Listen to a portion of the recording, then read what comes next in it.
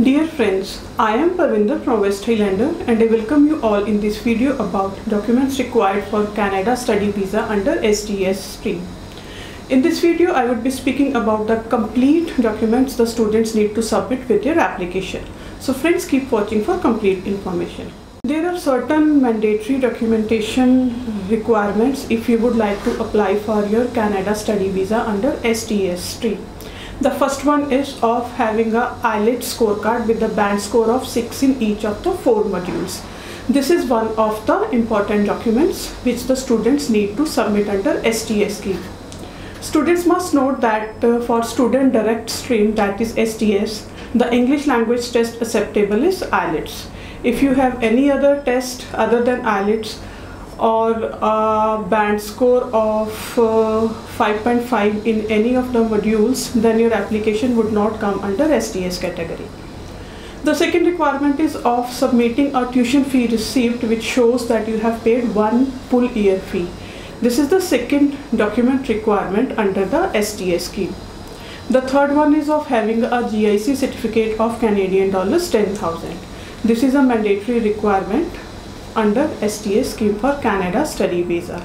The fourth requirement is of having a upfront health examination. The students need to submit their health examination if they would like to con uh, consider their application under SDS stream. So these are the four mandatory document requirements that the students must submit.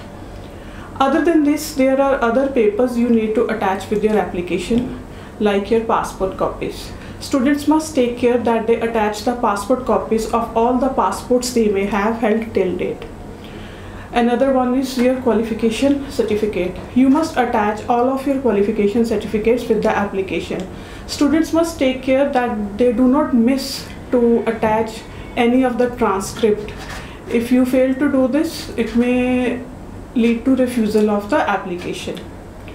Another document may be your work experience. If you have got any work experience, then you need to attach the documents which show that uh, you have uh, done this job. It should mention the period, your designation, your salary, etc.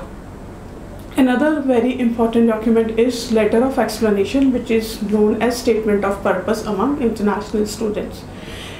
Letter of explanation is a very good way of communicating your study goals to the case officer. So friends, these were the documents which you need to attach so that your application can be considered under SDS category for Canada study visa. Friends, I hope you find this video useful. For any query you may have about your Canada study visa, please contact West Highlander. We are a team of highly experienced and expert counselors who can help you throughout the process. Thank you.